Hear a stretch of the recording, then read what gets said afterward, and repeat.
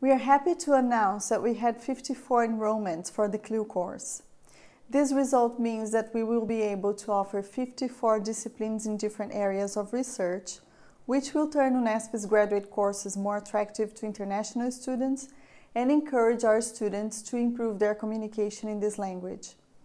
With the CLIL courses, professors of UNESP will learn different teaching techniques to enhance students' learning of content and at the same time facilitate the English proficiency.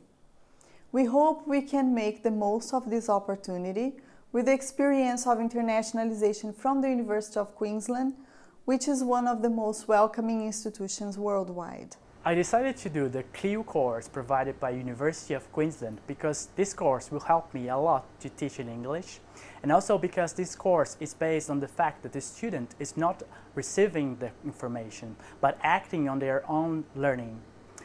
Here in Botucatu, I offered a course uh, entitled Introduction to Scientific Oral Communication and doing this training this uh, training will help me a lot to teach in English and also to motivate the students to search the knowledge in English and also for their own lives. My name is Philippa Coleman and the University of Queensland is delighted to be partnering with UNESP for an academic development program. Our team has worked with international academics from Asia, Europe and South America for more than 10 years, delivering programs designed to foster excellence in teaching and learning in higher education. To introduce our program, I have a couple of key questions for you. Do your students ever look tired or sleepy in lectures? And do you ever wonder whether they've understood the lecture content? Are you keen to explore new ways of delivering academic content? Well, these are the kinds of issues our program explores. Let's learn a little bit more. So here's a little bit more of what you can expect from our programs. You'll be working with your colleagues and tutors in a workshop environment and we'll be exploring topics such as effective lecture delivery, engaging learners through technology, managing large classes, and all the while thinking about the cognitive and linguistic challenges that students and teachers face when accessing academic content. Our workshops are practical and very interactive. We'll demonstrate techniques encourage you to reflect on that experience, and importantly, put it straight into practice. We'll ask you to bring your own teaching materials to work on during the program. One of the major obstacles to the internationalization of higher education institutions in the world, and particularly in Brazil, is associated with the language skills of those involved in internationalization actions.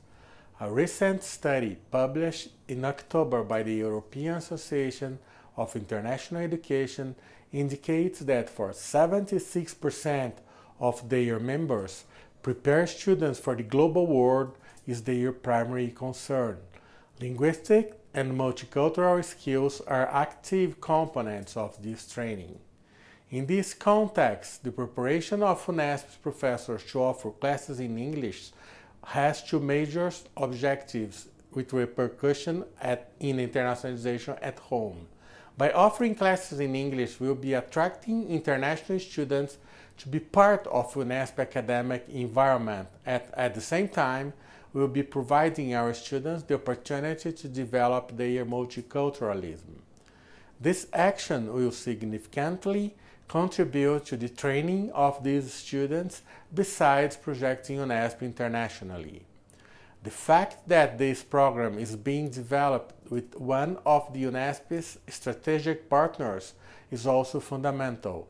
All international rankings place the University of Queensland among the best in the world. With them, we are building an exceptional collaboration program previously focused on joint research and mobility for PhD students and faculty. The joint development of the CLIL program will further strengthen the partnership. University of Queensland is one of the leading universities in this kind of technique, which is uh, teaching our teachers to teach in English. So it's very important for us to have these people here and we welcome them to uh, be part of our process of internationalization. Uh, by this process, we will be able to train our students and to get really internationalized and to have classes in English in UNESP, which is very important for the process for the university, for UNESP, to become part of the global universities uh, around the world. Australians and Brazilians have many similarities, and for sure, one thing we have in common is a commitment to excellence in teaching and learning through continuing professional development.